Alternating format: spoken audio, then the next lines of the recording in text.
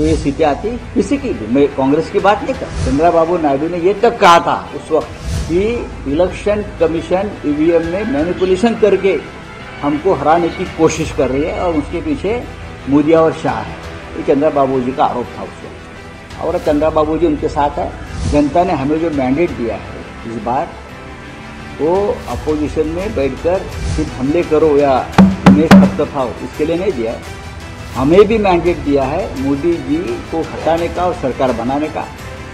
और जब हमें लगता है कि यह अब अच्छा मौका है तो हम उस बारे में हमारा कदम आगे बढ़ा मैं तो ये नहीं कहूँगा कि पिक्चर अभी बाकी है। मैं ये कहूँगा कि पिक्चर शुरू हुआ है एंड बाकी है। लेकिन लेकिन ऐसी नौटंकी राजनीति में होती है।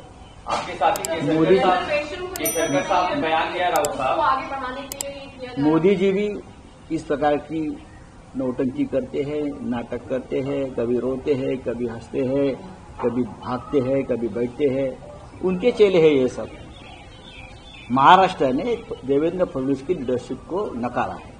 आपने यहाँ तक कह दिया और- के सहारे मेरा एक जवाब पूरा हो। और ये बात ऐसी है कि महाराष्ट्र के राजनीति के विलन अगर कोई होंगे तो देवेंद्र फडणवीस है। देवेंद्र फडणवीस की वजह से महाराष्ट्र में बीजेपी की दुर्गति हुई। जिस प्रकार से बदले की राजनीति,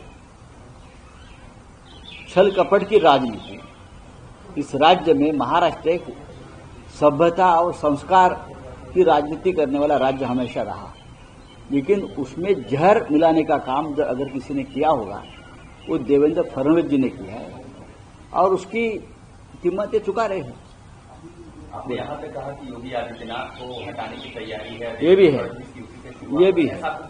मुझे ऐसा लगता है कि हमारा फीलिंग्स है कि योगी जी को हटाने की कोशिश कुछ लोग कर रहे हैं हम सभी हमेशा योगी जी को यानी बाबा जी को प्रणाम करके आए हैं उनका पार्टी का अगर मामला है तो उनका मामला है लेकिन हम हमेशा उनका आदर करते आए हैं राव साहब प्रधानमंत्री नरेंद्र मोदी अगर फिर से प्रधानमंत्री होते हैं तो संघ का उनको समर्थन रहेगा। मुझे नहीं लगता है कि आप संघ का समर्थन मुझे ये नहीं लगता है। मोदी जी सत्ता में रहते हुए मोदी शाह जी ने संघ को भी खत्म करने का काम किया ना। संघ का महत्व कम करने का काम। ये सब तो हमारे सामने हुआ है।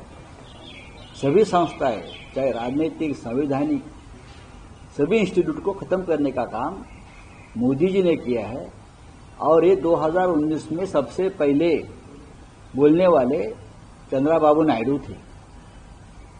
चंद्रा बाबू नायडू ने ये तक कहा था उस वक्त कि इलेक्शन कमीशन ईवीएम में मैनिपुलेशन करके हमको हराने की कोशिश कर रही है और उसके पीछे मोदिया और शाह है। ये चंद्रा बाबू जी का आरोप था उस वक्त। और चंद्रा बाबू जी उनके साथ है। हमारी उनको शुभकामनाएँ। लेकिन ऐसी भी चर्चा है कि संघ की तरफ़ से गडकरी हो या राजनाथ सिंह ये विकल्प भी तैयार वेट एंड वॉच मैंने कल भी कहा देखते रहिए आगे आगे क्या होता है। आगे बहुत कुछ होने वाला है। मैं तो ये नहीं कहूँगा कि पिक्चर अभी बाकी है। सर आप लोगों ने मैं ये कहूँगा कि पिक्चर शुरू हुआ है एंड बाकी है। आप लोगों ने मन बना लिया है ऑपोजिशन में ही बैठने का नहीं हमने मन नहीं बना लिया है। जनता ने हमें जो मैंडेट दिया है इस बार, वो अपोजिशन में बैठकर सिर्फ़ हमले करो या उन्हें खपतफाओ इसके लिए नहीं दिया है। हमें भी मैंडेट दिया है मोदी जी को हटाने का और सरकार बनाने का।